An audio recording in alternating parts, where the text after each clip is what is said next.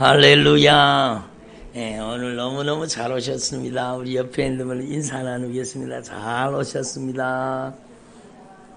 큰 은혜 받으시기 바랍니다. 네, 그래요. 여러분이 큰 은혜 받으시길 바랍니다. 여러분, 오늘 성령님께서 우리 가운데 큰 권세와 능력으로 역사하고 계십니다. 아멘.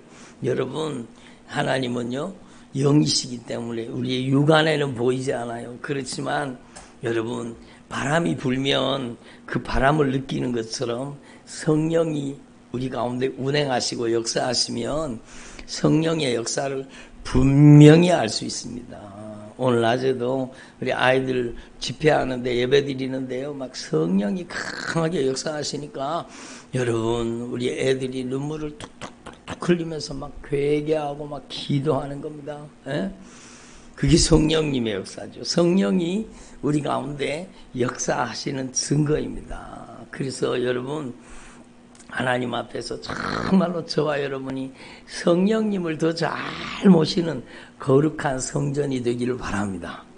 예, 오늘 우리 아이들한테도 얘기했지만 교회는요 이 건물이 교회가 아닙니다. 이건 예배당이고 여러분 다 하시는 말씀이지만 정말로 정말로 중요한 거 교회는 건물이 아니요 교회는 여러분이 교회예요. 저와 여러분이 그리스도의 몸 된 교회입니다. 여러분 저와 여러분이 살아계신 하나님의 성전입니다. 하나님의 성전은요 이 예배당이 성전이 아니요. 예?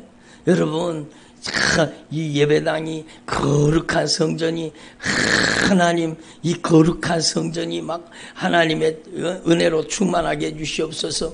뭐 틀린 말은 아니에요. 그렇게 기도해도 돼요. 그렇지만 정말로 중요한 것은 한번 따라하세요. 내가 하나님의 성령의 전입니다. 그래요. 하나님의 성령의 전은 건물이 아니요. 여러분은 이동식 성전이요. 아멘. 여러분, 예? 구약 성경에 있었던 그 성전은 솔로몬 성전은 고정된 성전이지만 여러분은 예수님의 보배로운 핏값으로 값주고 사서 3일 만에 세운 성전. 여러분이 보배로운 핏값으로 세워진 여러분 거룩한 하나님의 성전이에요. 하나님의 성전에는 누가 계셔야 돼요? 하나님의 성전에는 하나님의 성령이 계셔야죠. 예? 하나님의 영광이 충만하게 충만하게 계셔야 되는 거예요. 예? 우리 아동부한테 오늘 말씀을 전했지만 하나님의 성전에 하나님의 영광이 가장 가득 차 있을 때는 하나님께서 그 성전을 통해서 여러분 축복하시는 겁니다. 하나님께서 성전을 통해서 하늘 문을 열어서 하늘에 신령한 은혜와 복을 주시고 땅에 기름진 축복도 하나님 주시는 겁니다. 그런데 여러분 하나님의 성전에서 하나님의 영광이 떠나버리면 여러분 아니 목사님 하나님의 성전에서 하나님의 영광이 떠날 수 있습니까? 당연하죠. 예수 믿다가 지옥 갈 수 있습니까? 당연하죠, 당연하죠. 여러분, 하나님의 성령이 그 사람 속에서 성령이 떠나버리시면은요, 여러분, 성령이 떠나버리시면 그 사람은요, 정말로 진노가 임합니다. 심판이 임합니다. 그러니까, 여러분, 구약 성경에 보세요. 에스겔서 말씀해 보면, 에스겔서 10장, 11장에 보면, 그 하나님의 성전에 솔로몬 성전에 강력하게 임하여 계시던 거룩한 하나님의 영광이요. 하나님의 성전에 머물러 계시던 하나님의 영광이 떠나버리십니다. 하나님의 영광이 떠나십니다. 하나님의 영광이 떠난 성전, 성전입니까? 아니잖아요. 건물만 남아있지. 그게 성전이 아니요. 하나님의 영광, 하나님의 성령이 여러분 거하셔야 성전이죠. 근데 하나님의 영광이 떠나버리셨어요. 하나님의 영광이 사라져버렸어요. 그러니까 여러분 그 성전이 하나님의 영광으로 가득 찼던 성전이 하나님의 영광이 떠나고 그 아름답던 예루살렘 성읍이 여러분 예? 하나님의 영광이 떠나니까 심판과 진노 여러분 무서운 저주의 현장이 되는 거예요. 응? 따라합니다. 하나님의 영광이 떠나시면 하나님의 심판과 진노와 저주가 임합니다. 그렇죠. 하나님의 성전에 하나님의 영광이 떠나면 무서운 심판, 하나님의 진노, 하나님의 저주가 오는 거예요. 여러분 그래서 그 아름답던 여러분 예루살렘 성전이 바벨론의 군대에 의해서 여러분 완전히 초토화되고 다 무너지잖아요. 그리고 예루살렘 예루살렘 성벽이 무너지고 예루살렘 성이 잔인하게 여러분 바벨론의 군대에 짓밟히게 되잖아요. 예? 왜 그렇습니까? 왜 그렇게 됐어요? 하나님의 성전을 더럽혔기 때문이죠. 하나님의 성전을 더럽히면 하나님의 성령이 그 거룩한 임재를 거두어서 떠나간다는 게 성경 말씀입니다. 예? 성경 말씀이에요. 여러분 우리는 분명히 알아야 돼요. 그 떠나갔던 성전의 하나님의 영광이요. 여러분 에스겔서 마지막 부분에 보면 하나님의 성전이 하나님의 하나님의 영광이 하나님의 성령이 하나님의 성전에 다시 돌아옵니다. 회복된 성전에 하나님의 영광이 다시 돌아옵니다. 그러니까 그 하나님의 성전이 여러분 정말로 하나님의 영광이 회복되니까 그 하나님의 성전에서 뭐가 흘러나왔어요? 생명수의 강물이 흘러나는 거죠. 생명수의 강물이 흘러나서 그 하나님의 성전에서 흘러나오는 그 생명수를 통해서 모든 죽어 있는 것들이 다시 살아나는 거예요. 모든 병든 것들이 다 고침받는 거예요. 그게 하나님의 성전이야, 하나님의 성전. 그런데 그 에스겔서 마지막에 나오는 그 하나님의 회복된 성전에 하나님의 영광이, 하나님의 성령이 다시 돌아와서 하나님의 영광이 다시 임하는 것은요, 여러분, 바로 예수 그리스도를 통해서 우리에게 이루어지시는 하나님의 성전을 얘기하는 겁니다. 예? 이스라엘의 회복을 얘기하기도 하지만 여러분 더 중요한 것은 예수님이 말씀하셨잖아요. 너희가 이 성전을 헐어라. 내가 3일 만에 세우겠노라. 여러분은 3일 만에 세워진 성전입니다. 예수님이 십자가에 못 박혀 죽으심으로 여러분 우리의 죄를 다 값을 지불하고 우리의 죄 값을 갚아주신 겁니다.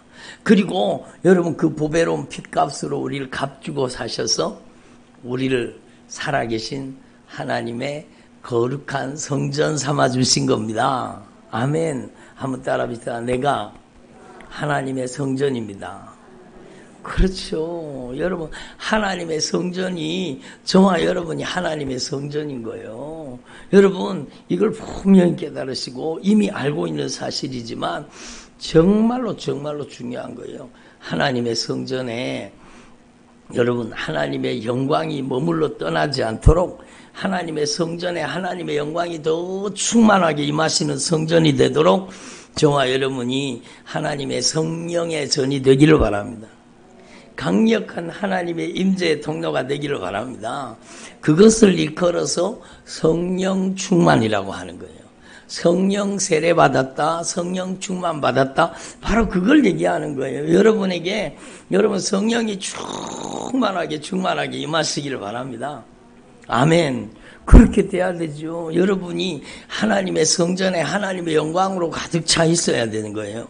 그런데 여러분 한번 생각해 보세요. 제가 말씀을 적다가 이렇게 적었어요. 성령 충만. 여러분 오늘 성령 충만 받으시기를 바랍니다. 아멘. 치료는 성령 충만이에요. 하나님의 영광이 가득 차면 그 하나님의 임재, 하나님의 영광의 보좌로부터 생명수의 강물이 흘러나는 거예요. 예수님이 직접 말씀하셨잖아요. 나를 믿는 자는 그 배에서 생명수의 강물이 흘러나리라. 에? 예? 여러분, 나를 믿는 자는 그 배에서 생명수의 강물이 흘러나리라. 에? 예? 나를 믿는다는 게 뭐예요? 믿음이 뭐예요? 오늘 가르쳐 줬는데 믿음이 뭐예요? 교회 다니는 사람 대부분의 사람들이요 믿음이 뭡니까 물어보면 대답을 못해요. 아는 것 같기도 하고 모르는 것 같기도 하고. 응? 여러분 믿음은요 정확하게 성경적인 의미로 대답을 해보세요. 믿음은 영접하는 자, 곧 예수 그리스도를 믿는 자. 여러분, 믿음은 영접입니다. 믿음은 영접하는 게 믿음이요. 그리고 이번에 아동부 여러분 예, 우리 친구들의 성경학교 주제가 성령님 환영합니다. 따라합니다. 성령님 환영합니다. 여러분의 인생에 성령님을 환영하고 성령님을 모셔드리는 게 그게 믿음이요. 그게 믿음이요. 미션이다. 이게 믿음이 아니라 여러분 성령님을 모시고 인격적으로 예수님을 여러분 안에 모시는 게 그게 믿음이잖아요. 그러니까 여러분 정말로 중요한 것은 믿음입니다. 여러분 정말로 여러분이 하나님 앞에서 믿음을 가진 주의 종들이 되기를 바랍니다. 믿음은 여러분이 하나님의 성전인데 여러분 안에 하나님의 성령, 예수 그리스도의 영, 여러분 성령님을 인격적으로 여러분 안에 모시는 게 믿음입니다. 그래서 나를 믿는 자는 그 배에서 뭐가 흘러나와요? 생명수의 강물이 내 안에 예? 내 안에 예수님을 영접하고 인격적으로 성령님을 모시면 예수님의 영 성령님이 내 안에 좌정하시는 거잖아요. 아멘. 내 안에 예수님께서 내가 필요할 때만 아쉬울 때만 부르는 예? 그런 존재가 아니라 예수님께서 나의 왕으로 좌정하셔야 돼요. 들어보세요. 말씀 눈으로 듣는 겁니다. 예수님께서 내 안에 왕으로 주인으로 좌정하시는 거예요. 예? 예수님은 나의 소원을 이루어 주기 위해서 존재하는 분이 아니요. 예수님이 내가 필요할 때만 비나이다 비나이다 하는 것처럼 여러분 예? 진이 요술 램프를 문지르는 것처럼 예? 내 소원을 이루기 위해서 주님의 이름을 이용하려고 하지 말라는 거예요. 그건 잘못된 신앙이요. 잘못된 믿음이요. 영어로는 정말로 여러분 안에 정말로 예수님을 인격적으로 왕으로 주인으로 아멘을 안 하시네. 유일한 통치자로 절대 주권자로 여러분의 인생의 중심에 모실 수 있기를 바랍니다.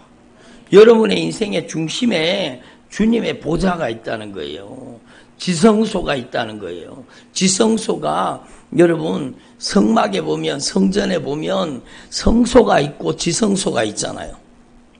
지성소 거기에 지성소에 언약궤가 있고 언약궤 위가 속죄소고 거기가 바로 여러분 천사가 이렇게 날개를 펼치고 있는 곳인데 거기가 바로 하나님의 영광의 보좌, 은혜의 보좌, 시은좌, 은혜를 베푸시는 보좌라는 거예요. 그 주님의 영광의 보좌가 어디 있어요? 우리 안에 와 있는 거예요, 우리 안에. 그러니까 여러분 들어보세요. 정말로 중요한 거 내가 하나님의 성전입니다. 내 안에 하나님의 영광의 보좌가 있습니다. 내 안에 예수님의 영 성령님이 내게 좌정하시고 나를 다스리고 나를 통치해 주시옵소서. 우리 안에 예수님의 영광의 보좌가 펼쳐지고 예수님께서 딱 좌정하시면 그 배에서 뭐가 흘러나와요? 생수의 강이 흐른다 그래 생명수의 강물이 흐른다는 겁니다. 근데 예수님이 단서를 다셨어. 이것은 믿는 자가 받을 성령을 뜻한다는 겁니다. 성령을 모시는 걸 뜻한다는 겁니다. 그리고 거기에 나와 있어요. 아직까지 예수님이 영광을 받기 전이므로 저, 저희 안에 아직까지 성령이 계시지 아니하시더라. 여러분, 예수님이 십자가에 못 박혀 죽으시고 우리의 죄를 완벽하게 값을 지불하시고 해결하신 겁니다. 아멘. 우리의 죄값을 지불하시고 우리의 죄를 해결하신 거예요. 그리고 여러분 예수님께서는 부활하시고 우리에게 주님의 의를 덧입혀 주신 겁니다. 그리고 예수님은 승천하셨어요. 승천하시면서 내가 떠나가는 것이 너에게 유익한데 내가 가면 너희에게 보혜사 성령을 보내주시라. 여러분 성령님이 그래서 우리 안에 오셔서 좌정하시고 하나님의 성전이 되는 겁니다. 아멘. 그래서 여러분 하나님의 성령이 내 안에 오셔서 하나님의 영광으로 내 인생을 가득 채워주시고 하나님의 영광의 보좌가 내 안에 펼쳐지고 주님의 영광의 보좌가 내 안에 있는 거예요. 내가 하나님의 성전이요. 내가 하나님의 살아있는 교회요. 내 안에 하나님의 영광이 거하시면 나로부터 생명수의 강물이 흘러가는 겁니다. 생수의 강이 흐르는 겁니다. 아멘. 그래서 여러분이요, 오늘 이 저녁에 반드시 성령 충만 받기를 바랍니다. 여러분, 성령 충만은 하나님의 소원입니다. 오늘 낮에도 말씀, 말씀을 전했는데요. 예? 네가 무엇하여 주기를 원하느냐? 주님이 물으세요. 네가 무엇하여 주기를 원하느냐? 여러분에게 물으시면 여러분 뭐라고 대답하시겠어요? 무엇하여 주기를 원하느냐? 무엇을 원하느냐? 여러분 눈먼 사람이 눈뜨기를 원하는 게 당연한 거잖아요. 근데 그 사람에게 물으시는 거예요. 너에게 무엇하여 주기를 원하느냐? 그 사람이요 대답을 합니다. 뭐라고 대답해요? 눈뜨게 해주세요가 아니잖아요. 뭐예요? 주님의 소원이시면 주님의 소원이시면 저를 눈뜨게 해주십시오 라고 얘기합니다. 그러니까 여러분 여러분은 기도할 때 주님의 소원이 여러분에게 이루어지도록 기도해야 되는 거예요. 나의 소원이 이루어지는 게 아니라 주님의 소원이 여러분에게 이루어지도록 기도해야 되는 거예요. 아멘. 주님의 소원이요. 여러분에게 성령 세례 주는 거예요. 여러분, 예수님께서는 불과 성령으로 세례를 주시는 분으로 오신 거예요. 예수님은 성령 세례 주시는 분이요. 예수님은 부활하시고 승천하시고 우리에게 성령으로 충만하게 오셔서 성령 세례를 주시기를 원하시는 거예요. 응? 한번 따라요. 성령 세례는 하나님의 소원입니다.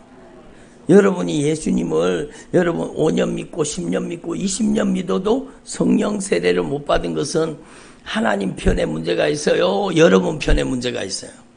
여러분 편에 문제가 있는 거예요.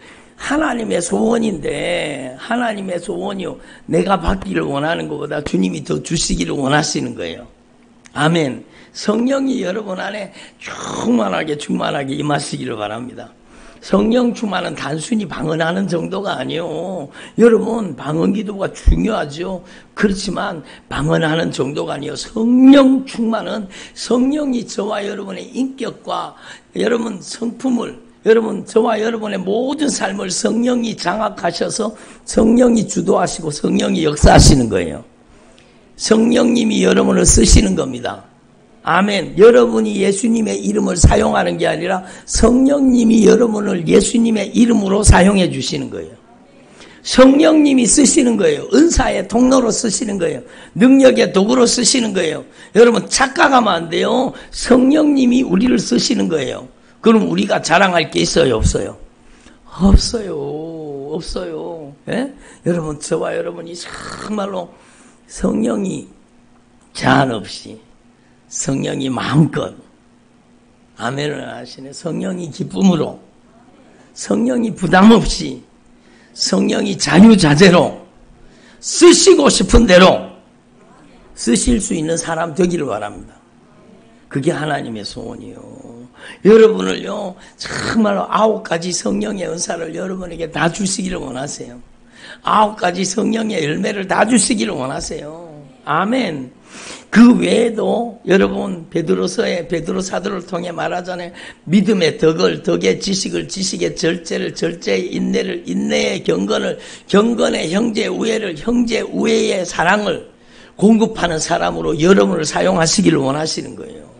그게 하나님의 뜻이요 하나님의 뜻. 그러니까 여러분은 반드시 성령 충만 받을 수 있습니다. 성령님을 인격적으로 여러분 안에 초청하고 모셔야 돼요. 아멘. 따라합니다. 성령님 환영합니다. 성령님 모셔드립니다. 여러분의 남은 생애 동안에 여러분 정말로 성령님을 가장 가장 잘 모시는 죄종들이 되기를 바랍니다. 여러분이 성령님을 가장 잘 모시는 따라하세요. 어디에 있든지 무엇을 하든지 그래요. 이 두 마디가요. 놀라운 비밀입니다. 어디에 있든지 무엇을 하든지 요 두 마디가요. 여러분의 인생을 다 담고 있어요. 학교에 있든지 집에 있든지 직장에 있든지 지하철을 타고 있든지 어디에 있든지 무엇을 하든지 공부를 하고 있든지 설거지를 하고 있든지 청소를 하고 있든지 빨래를 하고 있든지 아니면은 환자를 돌보고 있든지 무엇을 하든지 어디에 있든지 무엇을 하든지 여러분은 누구를 모시고 성령님을 인격적으로 모시고 성령님 저를 성령님께서 가장 기뻐하시는 도구로 사용해 주세요. 이렇게 기도하셔야 돼요. 정말로 성령님을 여러분이 사모할 수 있기를 바랍니다. 제가 성령 세례 받은 게 바로 그거예요. 제가 성령님을 막 간절히 사모한 거예요. 성령님 환영합니다. 성령님 제가 성령님을 환영합니다. 예? 남의 일이라고 아멘도 안 하시고 막 제가 성령님을 환영합니다. 성령님을 인정합니다. 성령님을 제 안에 모셔드립니다. 성령님 제 안에 오셔서 저를 변화시켜 주세요. 저는 제가 마음에 안 드는 게 많았거든요. 제가 스스로 컨트롤이 안 되는 게 너무 많았어요. 그러니까 내가 나를 변화시킬 수 없잖아요. 예? 한번 생각해 보세요. 지난주에도 말씀드렸지만 내가 주인이면 내 마음대로 돼야 되잖아요. 별로 공감이 안 되세요. 내가 주인이면 내 마음대로 돼야 되잖아요. 근데 여러분은 내 마음 나도 몰라요. 내 마음도 내가 컨트롤이 안 되는 거예요. 막. 예? 오늘도 제가 물어봤어요. 나, 내가 오늘 왜 이렇게 짜증이 나지? 내가 왜 이렇게 신경질이 나지? 내가 왜 이렇게, 에? 짜증나고 신경질 나지? 그래 본 사람 손 들어보세요. 그러니까 다 들더라고요. 여러분 어때요? 에? 여러분도 그렇잖아요. 그게 내 마음이, 내 마음이 아니기 때문이요. 내가 주인이 아니기 때문이다. 따라 내가 주인이 아닙니다. 여러분은 원주인이 아니에요. 하나님이 지으시고 만드셨기 때문에 하나님이 주인이세요. 예? 죄가 뭐냐? 내가 주인 노릇하는 게 죄예요. 내가 주인이 아닌데 내가 주인 노릇하니까 죽을 고생하는 거죠. 여러분, 내가 주인이 아닌데 내가 주인 노릇하니까 내가 다 책임져야 돼. 내 자녀도, 내 물질 문제도, 건강 문제도 막 내가 막, 내가, 내가, 내가, 내가, 내가, 내가, 내가 다 책임져야 돼. 내가 주인 노릇하니까. 근데 내 마음대로 돼요, 안 돼요? 제일 마음대로 안 되는 게 여기 있잖아, 여기. 내 자신. 내 자신이 마음대로 됩니까? 안 되잖아, 안 되잖아요. 어느 순간에 혈기 부리고 짜증내고 막, 어느 순간에 신경질 내고 열받고 막, 예? 여러분, 통제가 안 되잖아요. 그리고 제일 마음대로 안 되는 게 자식이잖아, 자식. 여러분, 자녀가 말, 내 마음대로 안 되는 거예요. 내가, 내가 주인이 아니기 때문에. 주님이 주인이세요. 예? 여러분이 기도하시면 돼요. 주님이 주인이십니다. 주님께서 좀 손봐 주세요. 살짝 봐주세요. 주님이 손봐 주셔야 되는 거예요. 그러니까 여러분이 하나님 앞에 정말로 이 하나님의 소원을 이루어 드리기를 바랍니다. 성령 충만한 하나님의 소원이요. 지난주에도 말씀드렸지만 너희 하늘 아버지께서 한번 따라 너희 하늘 아버지께서 구하는 자에게 좋은 것을 주시지 아니하시겠느냐. 다시 한번 너희 하늘 아버지께서 구하는 자에게 성령을 주시지 않겠느냐. 여러분 성령 세례 못 받으신 분들은요 회개하셔야 돼요. 정말로 정말로 처절하게 회개하셔야 돼요. 왜? 주님이 피를 쏟아 생명을 걸고 약속하신 거예요. 목숨 걸고 약속하신 게 우리에게 성령을 보내주신다는 약속이에요. 그런데 내가 아직까지 성령 충만을 받지 못하고 있다? 그것은요, 내가 지금까지 내 마음대로, 내 뜻대로, 내 고집대로, 내 하고 싶은 대로, 내 멋대로 내가 주인 노릇하며 살았다는 거예요. 입술로는 교회에 가면은, 교회에 가면 주님이 주인이십니다. 교회 가면은 여러분 얼마나, 예? 여러분 권사님, 권사님, 집사님 막 이래야 돼요. 막 믿음 좋은 것 같습니다. 막 신앙 좋은 것 같습니다. 교회 가면 근데 집에 가면 싸움판이에요. 집에 가면 성질 부릴 거 성질 다 부리죠. 혈기 부릴 거 다 부리죠. 에? 예? 짜증 내죠. 신경질 내죠. 에? 예? 여러분 그게 막 다 드러나는 거예요. 그러니까요. 여러분 하나님 앞에서 저와 여러분 오늘 확실하게 분명하게 여러분 정리하셔야 돼요. 여러분 성령 충만의 반대말은 뭡니까? 제가 지난번에도 말씀 전하면서 말씀드렸는데 성령 충만의 반대말이 뭐예요? 성령 안 충만입니까? 한번 생각해 보세요. 성령 충만의 반대말이 뭐라는 것을 여러분 하나, 하나님 앞에 정말로 생각해 보세요. 성령 충만하지 않으면은요, 성령 충만한 사람은 여러분 성령의 지배를 당합니다. 근데 성령 안 충만한 사람은 여러분 성령이 충만하지 않은 사람의 특징이 뭔가 하면 내가 내 자신을 통제하는 부분이 잘 안 됩니다. 내 자신을 통제를 하지 못합니다. 내가 왜 이렇게 우울하지?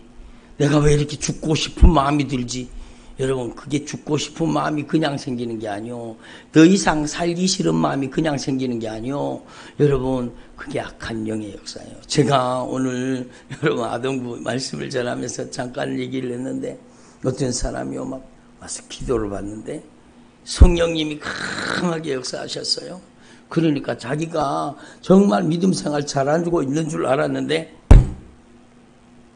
성령님이 그 사람 속에 강력하게 역사하신 거예요. 따라서 오직 예수님만이 나의 왕이십니다. 예수님만이 나의 구원의 하나님이십니다. 예수님께서 저를 보배로운 핏값으로 값주고 사셨기 때문에 예수님만이 나의 주인이십니다. 그 신앙 고백을 하는 순간에요, 그 안에 있는 악한 영이 확 드러났어요.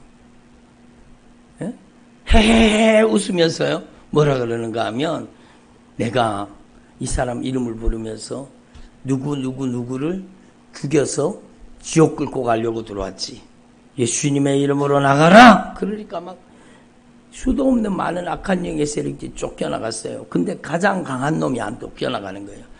그 안에서 깔깔깔깔 웃는 거예요. 자기 목소리가 아니요. 애기 목소리처럼요. 그렇게 흉내를 내가지고 내가 어? 죽여서 지옥 끌고 가려고 왔지. 그리고는 못된 짓을 하는 거예요. 그러니까 한번 보세요. 정말로 성령 충만의 반대말은 성령 안 충만이 아닙니다. 육신의 정욕으로 충만하고 안목의 정욕으로 충만하고 이생의 자랑으로 충만하고 여러분 자기가 자신을 컨트롤하지 못합니다. 여러분 그래서 성령 충만하지 않는 사람의 여러분 특징이 뭔가 하면 자기 기분과 감정을 조절이 안 돼요. 기분과 감정을 통제를 하지 못해요. 내가 왜 이러지? 내가 왜 이러지? 그러면서도 자기가 자기를 컨트롤하지 못해요. 불안하고 초조하고 근심하고 걱정이 되고 여러분 정말로 짜증이 나고 어? 여기 짜증 나보신 분 예, 보세요 손 들잖아요 보세요 막 짜증이 나고 막 열받고 여러분 그리고 여러분 두려움이 있습니다 두려워요 두려움 여러분 죽음에 대한 두려움 죽음에 대한 공포 여러분 이게 얼마나 무서운 거예요. 그러니까 그리고 죄인 줄 알면서요.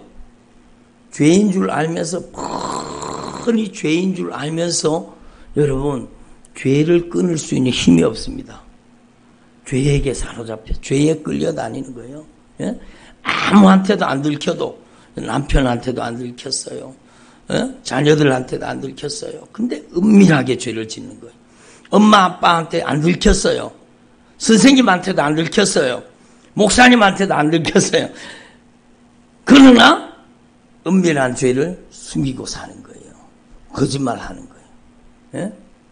여러분 정말로 이게 바로 여러분 성령이 안 충만한 사람의 특징입니다. 죄를 짓는 자, 성령이 안 충만하다는 것은 그 안에 죄가 있다는 거예요, 없다는 거예요. 죄가 있죠. 그래서 죄가 있는 사람의 특징은요, 자기 컨트롤 능력이 없어요. 네? 그래서 중독이 오는 거예요. 네? 다 끊고 싶죠. 담배 끊고 싶고, 여러분 술도 끊고 싶고, 끊고 싶어요. 그러나 그걸 끊을 수 있는 힘이 없는 거예요. 예? 죄에게 육신의 정욕에 끌려다니는 거예요. 그래서 육체의 이름 분명하니 이게 바로 성령이 안충한 사람의 특징을 얘기하는 거예요. 음행하고 더럽고 호색하고 우상숭배하고 주술과 원수 맺고 분쟁하고 시기하고 분내고 당짓고 여러분 투기하고 술 취하고 방탕하고 이게 다 여러분 성령이 안 충만한 게 아니라 누가 지배하고 있는 거예요. 여러분 따라합시다. 죄를 지었다. 마귀에게 이용당했다. 그러니까요. 교회 다니는 사람들 중에 제가 오늘 우리 친구들한테도 얘기했지만 교회 다니는 사람 중에 90% 이상이요. 여러분 죄를 짓고 여러분 막 분쟁하고 다투고 싸우고 막 그러면서도 자기가 그런 줄 알아요. 자기가 죄를 짓는 줄 알아요. 여러분 분명히 아셔야 됩니다. 죄를 지었다는 것은 죄를 짓게 만드는 악한 영에게 이용당했다는 겁니다. 예? 죄를 짓게 만드는 악한 영에게 이용당한다. 그럼 성령 충만의 반대말은 뭐예요? 여러분 어둠의 권세가 악한 영의 세력이 성경 그대로 얘기하면 에베소서 2장에 뭐라고 얘기하고 있어요? 불순종의 아들들 가운데 역사하는 영이라. 불순종의 아들들 가운데 역사하는 영에게 장악당하고 점령당해 있기 때문에 나도 내 자신이 통제가 안 되는 거예요. 여러분 은밀하게 감쪽같이 숨어서 여러분 그 못된 짓을 하는데 그 죄가 발각되고 드러나지 않았지만 여러분 죄를 지으면 어때요? 마음이 편안해져요? 아니면 불안해요? 불안하죠. 초조하죠. 두렵죠. 겁나죠. 여러분, 이게 인간의 실상이라는 거예요. 그래서 우리는 이 영적인 정체를 분명히 알고 하나님의 아들이 나타나신 것은 따라합시다. 하나님의 아들이 나타나신 것은 마귀가 저질러 놓은 일을 해결하기 위함이라. 그래요. 죄를 짓는 자는 마귀에게 속했나니 마귀는 처음부터 범죄함이라 하나님의 아들이 나타나신 것은 마귀가 저질러 놓은 이 죄의 역사를 해결하기 위해 오신 거예요.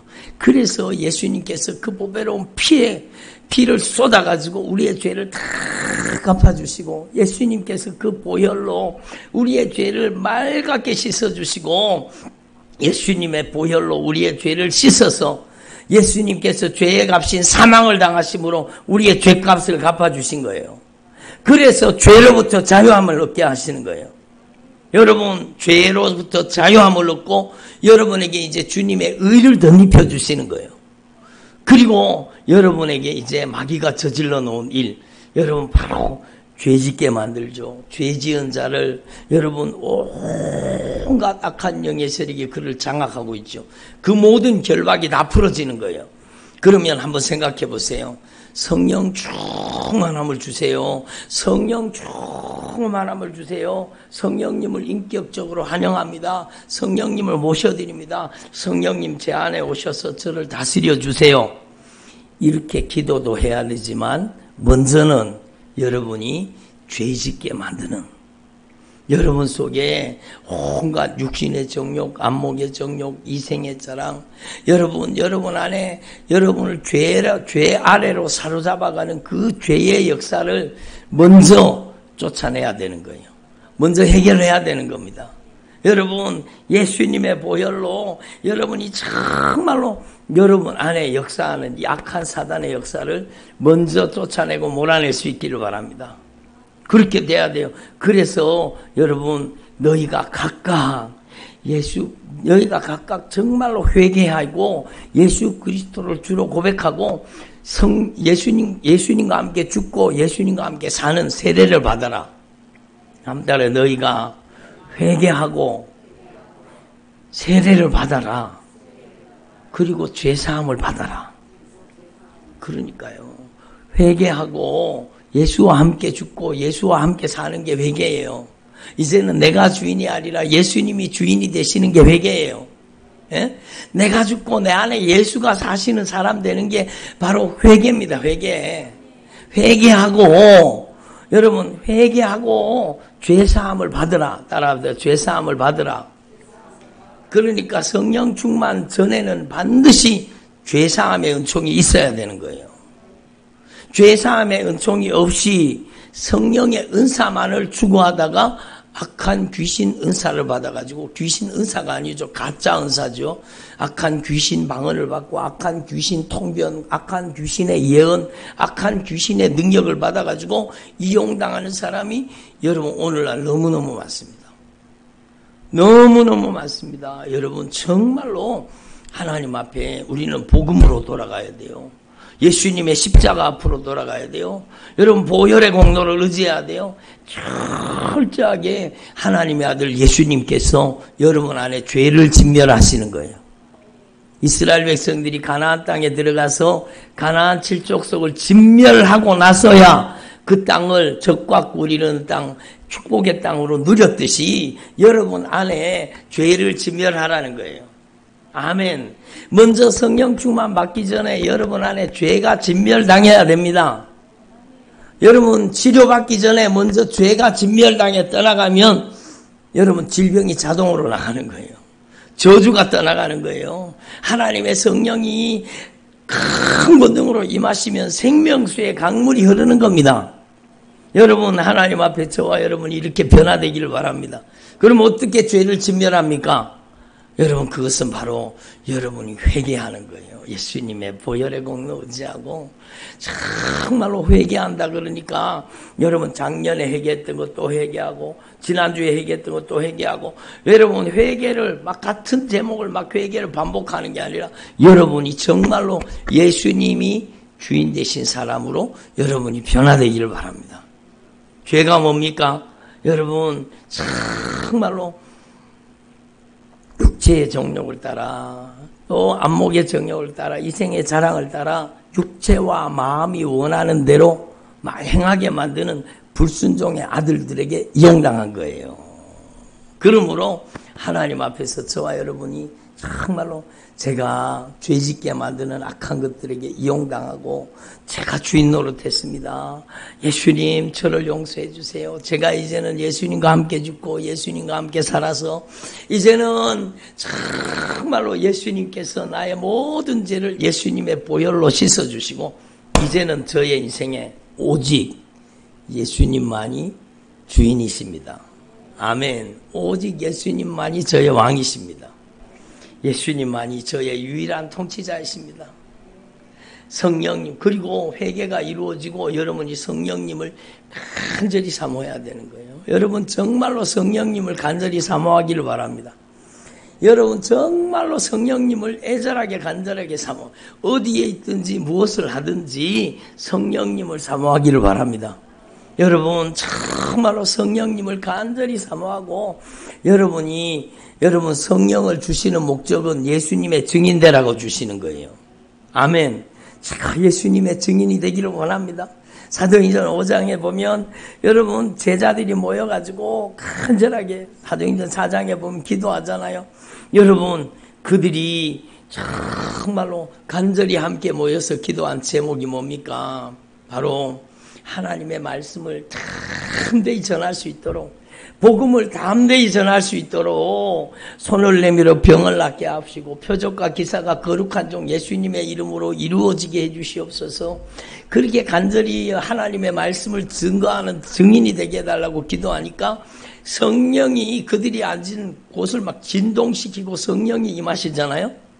그리고 강력하게 성령이 임해서 그들을 통해서 사도들을 통해서 놀라운 복음 증거의 역사가 일어났잖아요. 성령님은 장식용으로 주신 게 아닙니다. 성령님은 뽐내라고 준 게 아니에요. 에? 방언하는 거 뽐내라고 주신 게 아니요. 성령님을 우리에게 보내주신 것은 예수님의 증인되라고 주신 겁니다. 아멘. 여러분이 기도할 때 그러면 목적을 분명히 해야 돼요.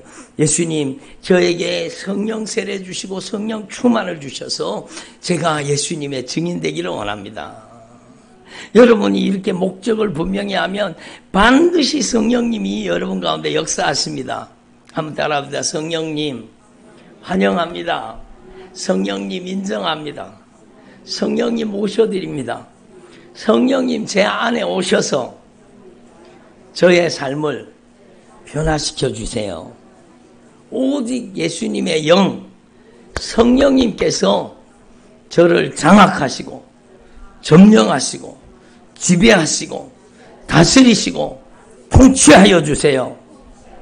예? 이렇게 여러분이 계속 기도하면 정말로 몇 날이 못 되어 성령 세례 받을 겁니다. 어떤 사람은요, 여러분 자기 집에서 기도하다가 성령 세례 받고 어떤 사람은 차 안에서 기도하다가 성령 세례 받고요. 여러분 성령님은 여러분이 성전이기 때문에 여러분이 어디서라도 기도하면 성령님이 강력하게 역사하시는 겁니다. 아멘. 예? 여러분의 차 안에서도 성령이 역사하시는 것. 여러분 제가 이것만 말씀드릴게요. 제가 막 성령님을 갈망하고 열망하고 성령님을 간절히 사모하니까 제가 그 여러분 제가 도매 장사를 했잖아요. 그러니까 그 화물차 안에서 막 간절하게 기도하는 거죠. 성령님을 모시고 성령님을 모시고 운전하는 거예요. 예? 성령님을 모시고 운전하는 거예요. 그러니까 막 기어를 넣을 때도 막 감사 1단, 감사 2단, 감사 3단, 막 예? 기어를 넣을 때도 막 감사하고 막 찬양하고 여러분 막 차 안에서 하면 제일 좋아요. 누가 뭐라 그러는 사람이 없어요. 막 예? 뜨겁게 방언으로 그렇게 기도해 누가 뭐라 하는 사람이 없어요. 제가 저기 구미 가서 사역할 때막 제가 막 방언 기도 막 세게 한다고 저보고 그렇게 하지 말라고 그러고 막 그 교회는 희한해요. 통성 기도하며 가갖고 두드리면서 하나님이 귀가 안 먹었으니까 조용히 기도하라고 그러다고. 여러분, 음, 그 말도 맞는 것 같지만 아니에요. 여러분, 너는 내게 부르짖으라고 말씀하셨어요. 여러분, 방언기는 세게 해야 됩니다. 강하게 해야 됩니다. 그래야 새 방언이 옵니다. 그래야 강력한 능력이 오는 거예요.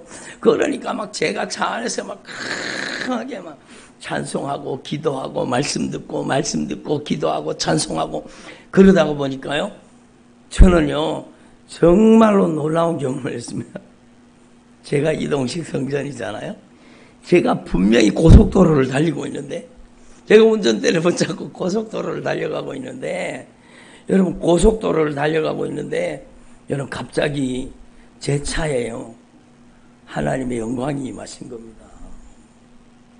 이건 개인적인 체험이니까 일반화할 수는 없습니다. 그렇지만 저에게 그 체험을 주시면서 구약 성경에 역대하에 있는 여러분 솔로몬이 성전을 건축해서 봉헌하던 그 장면을 알게 해주시는 거예요. 하나님의 성전에 하나님의 영광이 강력하게 임하시니까 여러분 하나님의 영광이 빽빽한 구름처럼 임하였더라. 정말 빽빽한 구름처럼요, 하나님의 영광이 임하신 거예요. 근데 정말로 제가 분명히 고속도로를 달려가고 있는데요, 고속도로 전체가 구름으로 덮였습니다. 여러분, 놀라운 광경이 펼쳐진 거예요. 여러분, 영광의 구름의 터널이 생긴 겁니다, 막. 그 고속도로에. 그리고 막 성령이 얼마나, 얼마나 강하게 역사하시는지 몰라요. 여러분, 왜 그럴까요? 여러분이 성전이기 때문이에요. 여러분이 여러분의 가정에서 어디에 있든지 무엇을 하든지 여러분 전혀 기도 힘써야 돼요. 여러분 정말로 전천으로 기도하셔야 돼요. 여러분이 하나님 앞에 기도하면 여러분의 가정에 이 하나님의 영광이 임하시는 겁니다. 하나님의 거룩한 임재, 하나님의 영광이 임하시는 가정이 되기를 바랍니다. 여러분의 가정에 하나님의 영광이 충만한 가정이 되게 되어야 되지 악한 마귀가 떼거지로 사는 가정 되면 안 되잖아요. 예? 한번 따라 우리 가정에 하나님의 영광이 임하시는 가정이 되게 하옵소서. 그러면은요 여러분의 자녀가 변화되는 겁니다. 우리 가정의 자녀가 주님이 변화시켜 주시다. 하나님의 영광이 우리 가정에 임하시기 시작하니까 하나님이 우리 가정의 자녀들을 변화시켜 주시는 거예요. 여러분 강력한 변화가 일어납니다. 영적인 회복이 일어납니다. 여러분 하나님 앞에 오늘 이 말씀을 여러분이 잘 아시는 말씀이지만 너무너무 중요해요. 진실하게 회개하고 죄 사함을 받으십시오. 그리고 성령을 인격적으로 모시고 여러분이 하나님의 말씀에 순종하고 복종하십시오. 아멘. 따라합시다. 순종과 복종. 그게 바로 순복입니다. 순복이. 여러분 하나님의 말씀에 성령님께 순복하라. 그리고 마귀를 대적하라. 그래야면 너희를 피하리라. 여러분이 하나님의 말씀에 성령으로 지배를 당하고 순종하고 복종하는 사람이 되면 여러분이 이제 병을 쫓아낼 수 있습니다.